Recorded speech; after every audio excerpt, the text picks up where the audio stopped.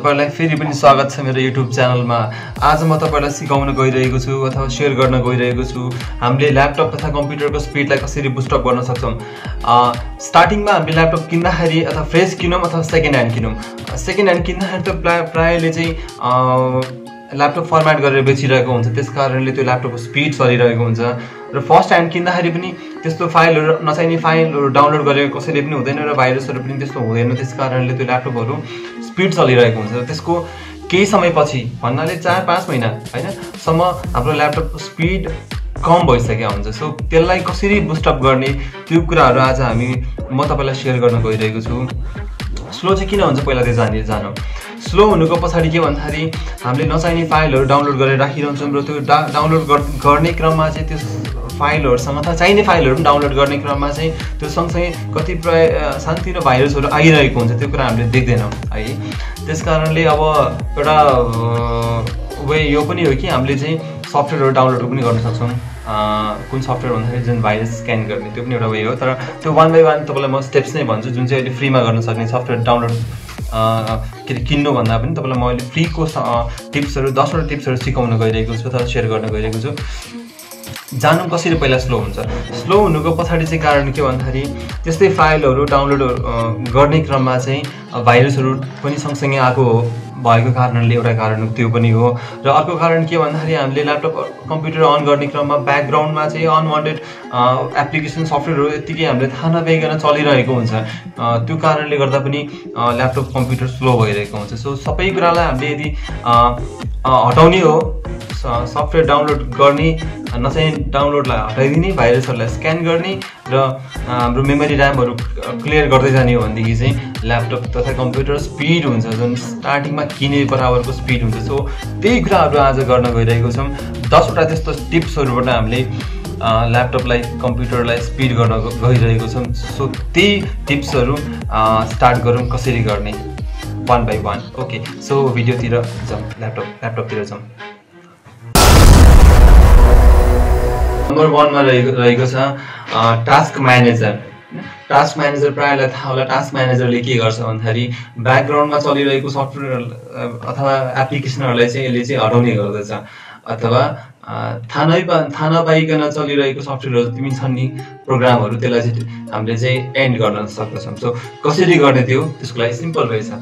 तरिका के हो भन्दाखेरि हामीले त्यसको लागि चाहिँ ल्यापटपको ल्यापटपमा किबोर्डमा गएर के गर्नु पऱ्यो? कन्ट्रोल अल्ट प्लस डिलिट हो यो क्लिक गरिसकेपछि हामीले के अप्सन अप्सन आउँछ? टास्क म्यानेजर हो टास्क म्यानेजरमा गएर चाहिँ हामीले चाहिँ यो मेरो स्क्रिनमा देखाइरहेको छ यहाँनिर चाहिँ यो flow Google Chrome Viber WhatsApp यो चाहिँ ब्याकग्राउन्डमा चलिरहेको छ। यसलाई हामीले डिलिट गर्न सरी क्लोज गर्न सक्छौँ एन्ड गर्न सक्छौँ। कसरी जस्तै मैले वाट्सएपलाई हटाएँ क्लिक गर्ने एन्ड गर्ने। हो यस्तै गरेर तपाईँले भाइबरलाई नि गर्नुहोस् क्लिक गर्नु एन्ड गर्नु। ल फ्लो भने के लेखिरहेको छ फ्लोलाई मैले ठिक छ यति नै गरिराख्नु भने चाहिँ ल यो र फर्स्ट स्टेप यो भयो। दोस्रो स्टेप चाहिँ गर्दा सिस्टम पर्फर्मेन्सलाई चाहिँ हामीले के गर्नेवाला छौँ भन्दाखेरि बुस्ट गर्नेवाला छौँ। जसले गर्दा हाम्रो ऱ्यामहरू अलिकति खाली हुन्छ जसले गर्दा ल्यापटप स्वतः स्पिड भइहाल्छ। सो त्यसको लागि के गर्नेवाला छौँ? हामी फर्स्टमा जाउँ विन्डोजमा कन्ट्रोल प्यानल त्यसपछि जाउँ हामी सिस्टममा त्यसपछि जाउँ हामी त्यसपछि चाहिँ यहाँनिर एडभान्स सेटिङ त्यसपछि यहाँनिर रहेको छ।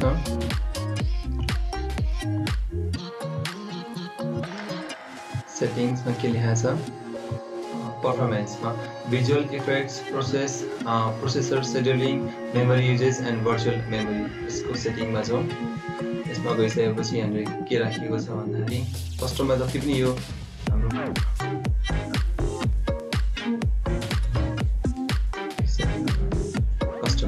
यो कस्टममा जति पनि राखेको छ नि यहाँनिर animate animate control and element inside यो जति पनि छ यो के हुन्छ भने यसले चाहिँ स्क्रिनलाई लोड हुनलाई टाइम लगाउँदछ होइन?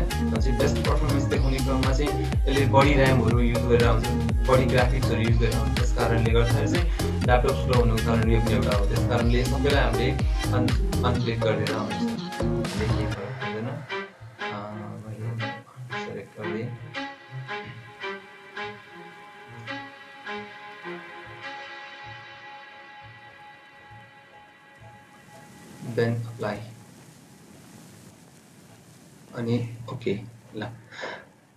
गरिदिनु ल यो स्टेप गर्नुभयो यो स्टेपले तपाईँको कम्प्युटर ल्यापटपलाई चाहिँ अलिकति केही हदसम्म स्पिड बनाउँदछ।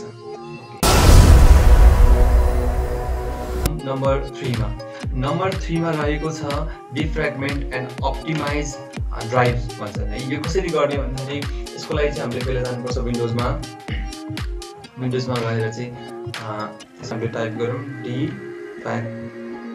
defragment and optimise drives फर्स्टमै आयो यसलाई क्लिक गरौँ त्यसपछि यहाँनिर आउँछ अप्सन सी ड्राइभ सी ड्राइभलाई चाहिँ हामीले अप्टिमाइज गर्ने हो डीलाई खासै आवश्यक पर्छ सीलाई गरौँ किनकि सिमै बढी सफ्टवेयरहरू इन्स्टल हुन्छ चाहिँ अप्टिमाइज क्लिक गरौँ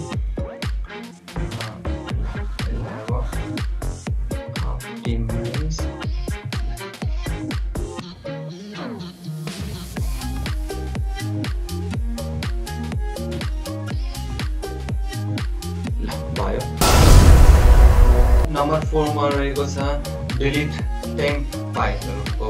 यो फाइलहरू हामीले डिलिट गऱ्यो भने हाम्रो चाहिँ ब्याकग्राउन्डमा चाहिँ अननेसेसरी फाइलहरू जुन डाउनलोड गरेर बसिरहेको छ ब्याकग्राउन्डमा चलिरहेको छ त्यसलाई हिडेन रूपमा जुन त्यसलाई पनि हामीले चाहिँ डिलिट गऱ्यौँ भनेदेखि केही ऱ्यामहरू खाली हुनेवाला छौँ। त्यसले गर्दा हाम्रो ऱ्यामको स्पिड फेरि बुस्ट हुन्छ।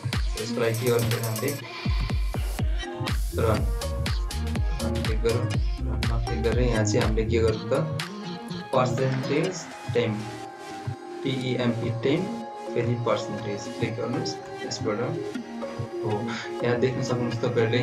जति पनि फाइलहरू छन् यो चाहिँ हामीलाई खासै चाहिँदैन यो। त्यसै कारणले यो युज भइसकेको फाइलहरू यसलाई सबैलाई डिलिट गर्दै हुन्छ केही फरक पर्दैन। कन्ट्रोल ए गरेँ मैले यसलाई प्लस यसलाई डिलिट गरिदिएँ।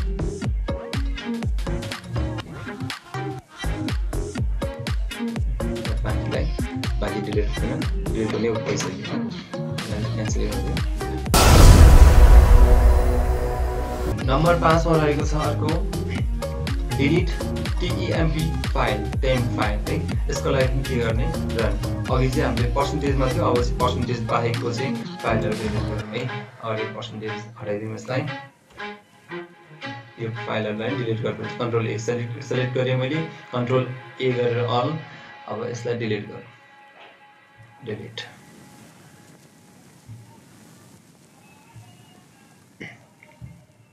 ल यो पनि डिलिट भयो ठिक छ सिक्समा जुन प्रिफेक्ट भन्छ प्रिफेक्टको लागि पनि के गर्नुपर्छ फेरि रनमै जानु पऱ्यो रनमा गएपछि यहाँनिर हामीले टाइप गरौँ प्रिफेक्ट है अब यसलाई क्लिक गरौँ यसमा यो त्यस्तै फाइलहरू यिनीहरूलाई पनि कन्ट्रोल ए गरेर सेलेक्ट गरेँ यसलाई डिलिट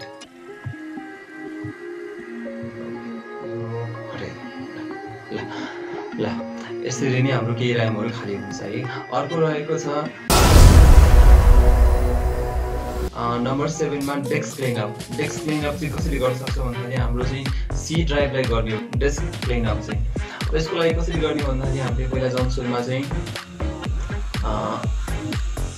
कम्प्युटरमा त्यसपछि यहाँनिर जम कन्ट्रोल सी ड्राइभमा राइट क्लिक गरौँ। प्रपर्टिजमा जाउँ प्रपर्टिजमा गइसकेपछि यहाँनिर आउँछ टेक्स्ट क्लिनअप भन्ने अप्सन हो यसलाई चाहिँ हामीले टेक्स्ट क्लिनअप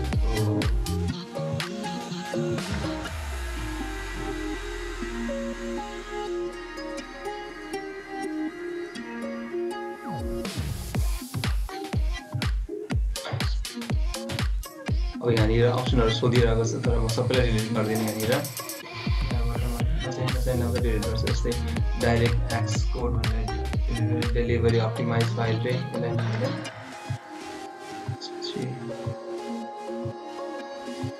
यसलाई टेम्पररी फाइल थम्बनेल नराख्नेलाई डिलिट गरिदियो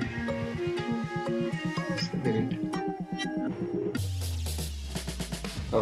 यसरी तपाईँले छानेर कुन कुन फाइल डिलिट गर्ने कुन कुन फाइल डिलिट नगर्ने यसरी पनि हामीले आफ्नो कम्प्युटरमा भएको फाइलहरूलाई नचाहिने फाइलहरूलाई डिलिट गर्न नसकेर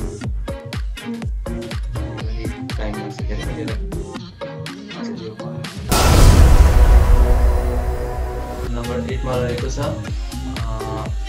turn off all notifications turn off all all notifications अब यो टर्न अफ नोटिफिकेसन कहाँबाट गर्ने हामीले। लागि यसमा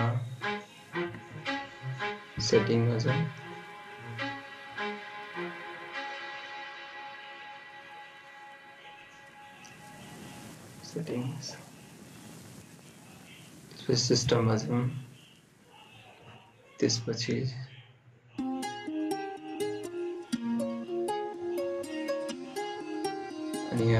नोटिफिकेसन एन्ड एक्सन भन्छ यसमा जाउँ त्यसपछि यहाँनिर यहाँनिर get notification from apps and other senders अब यो चाहिँ खासै इम्पोर्टेन्ट छैन हामीलाई होइन? राख्दा राम्रो अब नराख्दा खासै केही फरक पर्दैन। त्यसमा यहाँ के के अप्सन दिएको छ यहाँ? So notification on the lock screen यो दिइरहेको छ यो सबै खासै आवश्यक छैन यसलाई मैले टर्न अफ गरिदिएँ।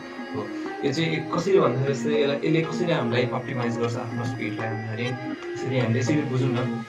हामीले आफ्नो ल्यापटप तथा कम्प्युटर के हाम्रो मोबाइल मोबाइल फोनहरूमा चाहिँ हामीले बिहानदेखि बेलुकासम्म हामीले इन्टरनेट चलाएको छैनौँ अथवा इन्टरनेट वाइफाई केही कनेक्ट गरेको छैनौँ भनेपछि त्यति बेरसम्म कति इन्टरनेटबाट धेरै नोटिफिकेसनहरू हामीलाई आइरहेको हुन्छ पपअपहरू आइरहेको हुन्छ।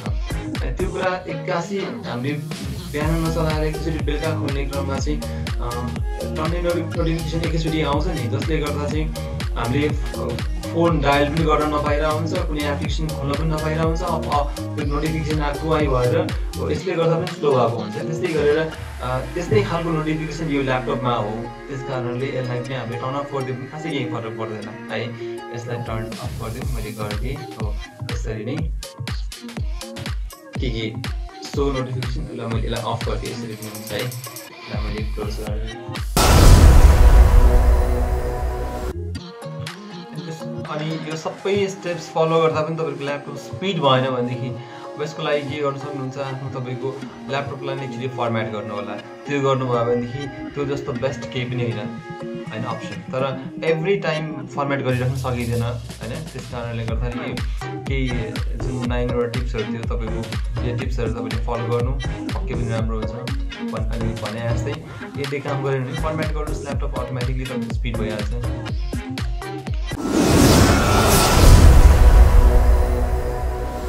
अब अरू के छ भन्दाखेरि अनवान्टेड सफ्टवेयरहरू फाइल्सहरू नराख्नु ल्यापटपलाई होइन त्यसले ऱ्याम पनि खान्छ हार्ड डिस्क पनि कभर गरिरहेको हुन्छ तपाईँको चाहिँ ऱ्याम पनि त्यसले चाहिँ कन्ज्युम गरिरहेको गरिरहेको हुन्छ। त्यस कारणले त्यस्तो नचाहिने सफ्टवेयरहरूलाई चाहिँ आफ्नो ल्यापटप तथा पिसीमा नराख्ने नराखेकै बेस हामीलाई के लाग्छ भन्दा पछि काम लाग्ला नि त भनेर त्यस्तो फाइलहरू कति राखेको हुन्छ राखेको हुन्छ जस्तो हामीले जस्तै हाम्रो आफ्नै घरमा भनौँ न कतिपय सामानहरू जस्तै मोबाइलको भनौँ न मोबाइलकै ब्याट्री। होइन? पहिला नोकिया मोबाइलको ब्याट्री अब कसैको म घरमा छ भने पछि राखिरहेको हुन्छ। पछि काम लाग्ला नि त पछि काम लाग्ने त्यो त्यो त्यसरी राखिरहेको हुन्छ तर त्यस त्यस त्यो ब्याट्री पाँच वर्ष छ वर्षसम्म पनि त्यो युजमा आउँदैन कि। त्यस कारणले त्यस्तो नचाहिने फाइलहरू हाम्रो कम्प्युटरमा नि हुन्छ। त्यस कारणले त्यस्तो फाइलहरू फाइलहरूलाई राख्नलाई राख्नुको पछाडि खासै इम्पोर्टेन्स देख्दिनँ म। पछि हामीलाई फ्युचरमा चाहिएको बेला त्यति जतिखेर चाहिन्छ त्यतिखेर नै हामीले डाउनलोड गरेर अथवा कुनै अर्को सोर्सबाट निकालेर युज गर्न सक्दछौँ। त्यस कारणले त्यस्तो फाइलहरू सफ्टवेयरहरूलाई डिलिट गरिदिएकै राम्रो ओके सो यति भन्दै मेरो आजको भिडियो सायद सकियो। आजको भिडियोमा तपाईँहरूलाई कुन पार्ट मन पऱ्यो कुन पार्ट तपाईँले थाहा पाइसकेका पार्ट कुन कुन थियो थाहा नपाएको कुनै मैले एक्स्ट्रा कुरा के भनेको रहेछु भने त्यसलाई मलाई कमेन्ट बक्समा थम्सअप दिनु होला थाहा अब नयाँ कुरा के सिक्नु तपाईँले चाहनुहुन्छ जान्न चाहिरहनुहुन्छ भने हुनुहुन्छ भनेदेखि मेरो च्यानललाई सब्सक्राइब गर्नुहोला। र बेल आइकन चाहिँ क्लिक गरिराख्नु होला ताकि यस्तै नयाँ इन्फर्मेटिभ भिडियोहरू म बेला बेलामा मेरो च्यानलमा हालिराख्ने गर्दछु जसले गर्दा तपाईँले केही न केही नै थाहा पाउन सक्नुहुनेछ फ्युचरमा सो यति भन्दै मेरो भिडियोलाई आज म क्लोज गर्न गइरहेको छु सो